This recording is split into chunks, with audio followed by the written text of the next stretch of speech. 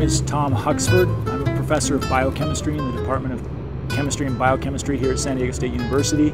I lead the Structural Biochemistry Laboratory where we use protein structural techniques to determine uh, what the, this, okay, I just, I just said structure like nine times in a row. Let's start over. I lead the Structural Biochemistry Laboratory where we use uh, techniques, principally X-ray crystallography, to be able to determine structures of biomolecules so that we can understand their mechanisms, how they function in the cell, and uh, keep us healthy. Favorite thing about my job, without question, is making discoveries. The greatest thing that's happened to me was working with my students to determine the structure of the I-kappa B kinase. This is an enzyme that's in, in all of our cells and it controls the cell survival response. It's the last movie I saw. I don't go to movies very often. Uh, you're asking you're asking hard questions.